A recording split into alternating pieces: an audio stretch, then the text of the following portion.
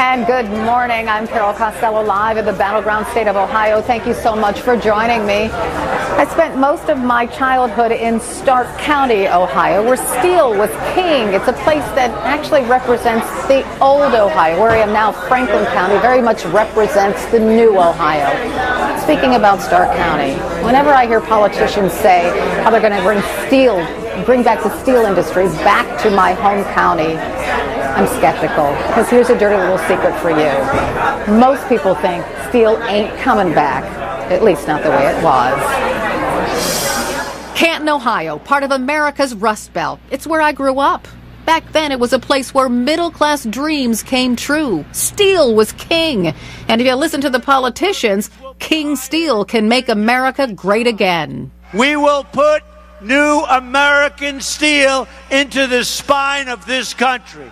I will fight for every neglected part of this nation. Back in the good old days, my dad worked here at Republic Steel. He worked inside that factory for 30 years. Back then, 4,000 people worked at Republic Steel. Today, just about 200 work behind those factory walls. So when politicians say they're going to revive the steel industry in Ohio, hey, it's been a dying dinosaur for 40 years. I'm skeptical. I just don't believe either candidate has what it takes to bring the jobs back here. What would it take? A working man put in that position. Career politicians have failed us my whole life. Democrats and Republicans. Well, Donald Trump's not a not a politician. He's a good businessman. You know, some people refer to him as a blue collar billionaire. Do you know what that means? Evidently, he's got a nice blue shirt on, made in China. I mean, you know. I Brian Rice is a union man, just like my dad Tony was back in the 60s. He, like my father, makes high grade steel parts in this plant. Both supported their families on a working man's wage, but my dad had it better. The union was strong then. Wages were better. NAFTA and TPP were not on the table. And young men were eager to work in the mill. Today, not so much. It's an extremely dangerous, hot, dirty, you know, place to work. It's not for everybody. My brothers and sisters right now are risking their life next to that furnace. You have a catastrophic failure and, and you will die. Rice is still grateful for the work, though. Ohio has lost more than 307,000 manufacturing jobs since 1994. And while Ohio's unemployment rate has been falling since 2009, Canton City leaders know an economy based on steel ain't coming back. So they're betting on football.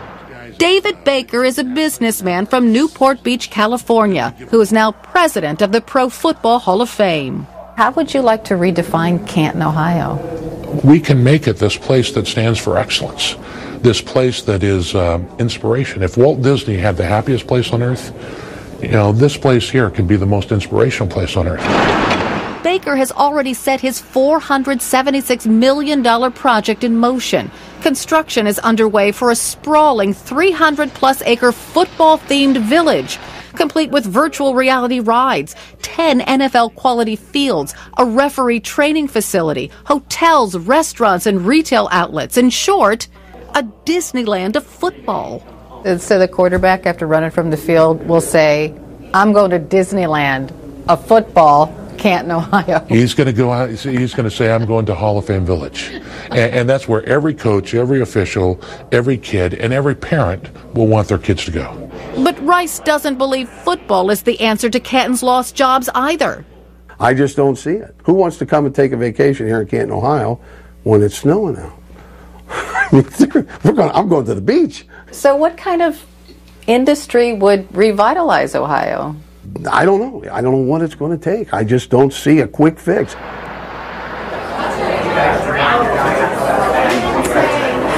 Well, I'm biased because I grew up in the state of Ohio in Stark County and in Carroll County, and um, I agree with Brian. There is no fix for my state, but I think that a lot of people don't think the steel industry, at least the steel industry of old, is the answer either. And here's why I think that. When my dad retired many, many years ago, the company he worked for, it went bankrupt. It took half of his pension. Growing up, my dad never took me to that plant at Republic Steel. He had no interest in steel being part of my future. His dream for me was to go to college. His dream for me was not to work in a factory. And that's the dream of many parents, even in Stark County, Ohio today. What will it take to change um, the state of Ohio's economy? What it's taken here in Franklin County, where the economy is booming. Here in Columbus, right? It's the new industry, and it focuses on education and it focuses on skilled labor. Much more from Columbus, Ohio when we come back.